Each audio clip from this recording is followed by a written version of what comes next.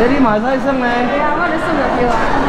大家记一下，下面如果没有电玩的年代，还有什么可以玩呢？新北市板桥区港德里里长蒋宝宽就要带大家回到没有电动玩具、没有手机的年代。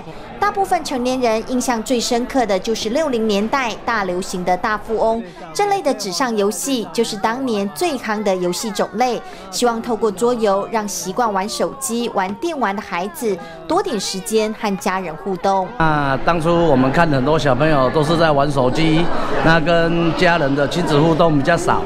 那我们自从有办桌游，爸爸妈妈或阿公阿妈跟小朋友都有一起在玩桌游，那个家庭的气氛会变得很好，所以我就蛮推广桌游。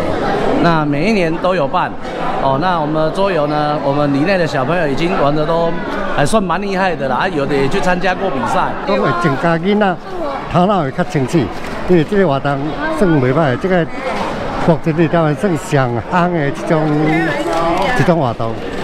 吼，啊！这阮里长有这个心吼，帮助本地的囡仔，甚至于讲隔壁你的囡仔嘛有可能来，我嘛可能隔壁囡仔来，知影拢会来。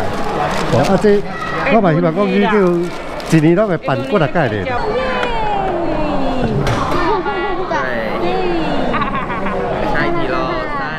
可以说是台湾生活文化的一部分。里长为了港德里桌游趣活动，带大家走进时光隧道，让大人小孩都能够玩在一块。特别找来大学生助阵，邀请治理科技大学桌游社协助办理桌游，暂时让大家抛开科技产品，感受早期的娱乐，也增加人和人之间的情感交流。那我们这次跟港德里一起举办公益活动，想要透过桌游呢，增进亲子之间的关系，然后让小朋友体会桌游的乐趣，然后还可以增加自己的观察力啊，或者是那个意志力，对，让大家一起来玩桌游。现在科技产品日新月异，电玩游戏更新速度快，桌游则是历久弥新，哪个年代不分男女老少。都能增加人际互动，相信永远不会被取代。记者林丽如新北报道。